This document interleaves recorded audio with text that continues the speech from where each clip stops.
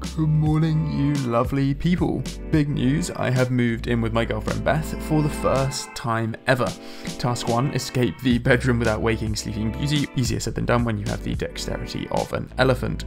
Now it's 6am and I'm getting up this delightful Friday because I have a class I haven't yet prepped for at 9am and then another at 11.15. Just in case you're wondering, basically Beth is a key worker, still having to go into London every other day, and she's trying to shield her family.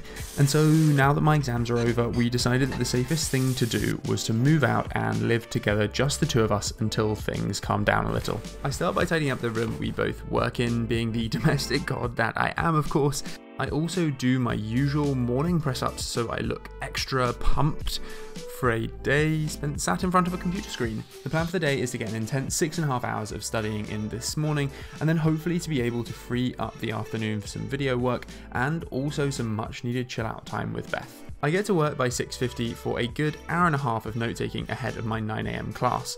You may notice that I've moved back from OneNote to good old Microsoft Word. This was simply because I found the inability to format OneNote documents in a way I could easily print to then memorize from when I wander around my room talking to myself really frustrating. So yeah, it's not exactly cutting edge, but Word does the job I need it to. Although my workspace here isn't quite as flashy as my desk setup at home, as you'll have seen if you watched my desk setup video, which you of course should, most importantly, Jennifer is still with me. I have my Filofax to plan my work for the day, my monitor, and my 4,000 page Butterworth's Company Law Handbook. I mean, hardly a handbook, is it? Now you may also be thinking, blimey, Liam's hardly following his own advice to prepare for classes a couple of days in advance so you get the benefits of spaced repetition. And you'd be right, but the honest truth is I've been crazily busy and am a bit behind at the moment. I'm really trying hard not to beat myself up about it like I would have done in the past. Instead, I'm going to ride with it until I have a little bit more time to catch up next week. I've also increasingly moved to a just in time model of studying.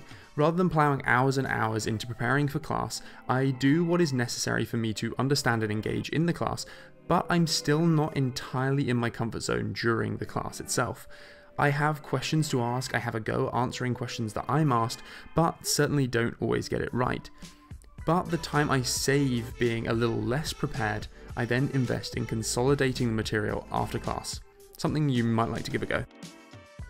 By 8.05 I'm sufficiently peckish to grab some breakfast. Beth's night owl body clock doesn't quite fit in with my early schedules, so she's not up yet. Does anyone else find banana goes absolutely everywhere when they chop it? Anyway, I still have quite a bit of prepping to do for my classes, so I enjoy my fruit and yogurt with a delicious spot of equity finance. This morning, how public companies list their shares on the stock exchange. Yum. Having at least read through and tried to understand most of the content I'll be covering in my classes this morning, remember I'll work on making sure my notes are amazing by consolidating after the class. I pop a crumpet on and go and get Beth up.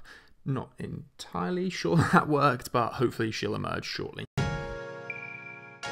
Crumpet down, Jumper on, and Beth up. It's time to jump onto my first Microsoft Teams class of the morning, Private Acquisitions.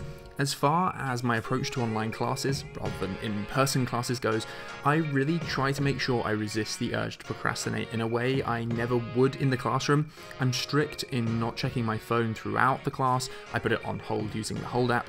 I close down my email and really try to make sure that when there's a bit of a lull in my focus and I open up a new web browser window, I am conscious that I'm doing that and snap myself back to the class, often taking a big gulp of water, which I've developed as kind of a cue for my mind to focus. When my class ends at 11, it's time for a much needed coffee and a little piece of the coffee and walnut cake Beth made last weekend.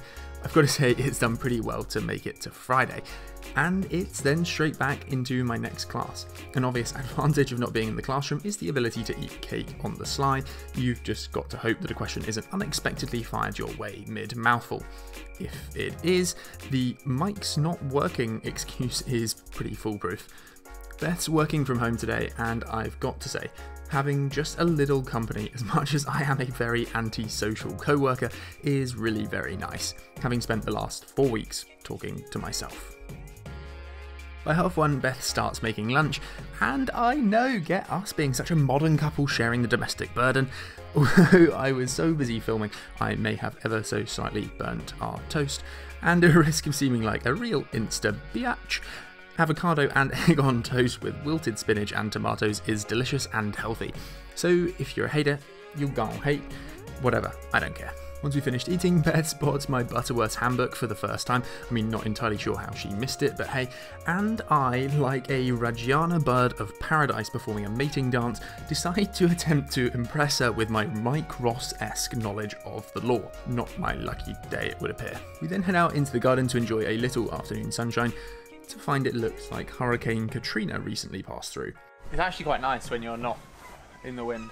Oh my god, Liam, you're gonna water everyone else's garden. It's going absolutely miles. Sorry for next door. After my brief battle with the sprinkler, I then get back to my computer at 2.45. The first task for this afternoon though is to take an hour and a half to get my life in order. Since my exams last week and basically studying all day every day for them, my to-do lists were just the topics I needed to get through written out in my Filofax along with my miracle study plan. And so I haven't been using the tool I generally use to organise pretty much everything in my life, Trello, for about a month. So I dedicate a good chunk of time to inputting all the tasks from this week and next week that I've noted down in my Filofax just to get a firm grasp grasp of where I'm at, and so that I can clearly see what needs doing for me to catch up to feeling on top of my studies again. If you have any questions about how I use Trello, do let me know in the comments because I'm going to be filming a video about Trello very soon, so I'll make sure I cover all of your questions in that. I've also been seriously neglecting emails, so take a good half hour to empty out my very congested inbox.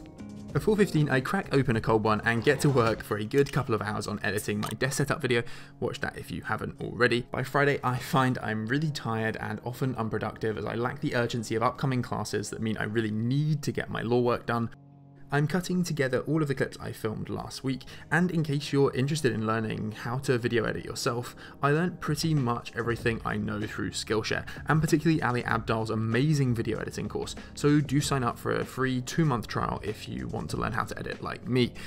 I then record the audio to sit over the top of my video.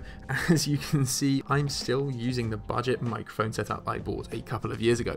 And yes, I look a little crazy sat on the floor jamming to myself, but this carpeted bedroom with cushions makes sure there's no echo when I'm speaking. At 6, a load of new clothes Beth ordered from H&M arrive, so we have a quick catwalk, basically me deciding whether or not I like the clothes and Beth then completely ignoring my opinion and keeping the stuff she likes. Sorry. Fashion shoot over by 6.45, we do a little home workout with my new fave workout channel, MadFit. 10 out of 10 for synchronization, even if I do say so myself. 30 minutes of HIIT and I'm a goner. Having showered up, we give some homemade potato wedges a go. Easy, tasty, and kinda healthy-ish. Those in the oven, Beth munches on some olives like the sophisticated gal that she is, while I start on my second beer of the evening. My exam season sobriety means I'm at significant risk of letting my proverbial hair down. Quizzorsted from the almost daily lockdown quizzes, we dive into some evening trivia, and on a high from our respectable third place, I then serve up some potato wedges, which have turned out, I must say, better than anticipated, quiche and a Caesar salad we watch a spot of Gogglebox and then head upstairs to bed, where the plastic explosion from a single H&M order, shame on them, the number of plastic bags is frankly horrendous, has wreaked havoc. All in all, it's been a pretty good day, getting in a morning of really focused study and then freeing up the whole of the afternoon to do more chilled video work, a workout, and enjoying the evening with Beth is a really lovely start to the weekend. And to round off the day, having got ready for bed, Beth and I have started a new thing where we attempt to stay awake listening to an audiobook for a bit before going to sleep. We're currently listening to All the Light We Cannot See on Audible. I've really enjoyed sharing today with you, so thanks for watching. And remember that you can sign up for a free two month trial of Skillshare if you're interested in learning how to video edit via the link on screen now, and it helps out my channel because I am a Skillshare affiliate. And if you enjoyed this day in the life, go and watch my 14 hour study day to see what what I do on a more intense day in law school.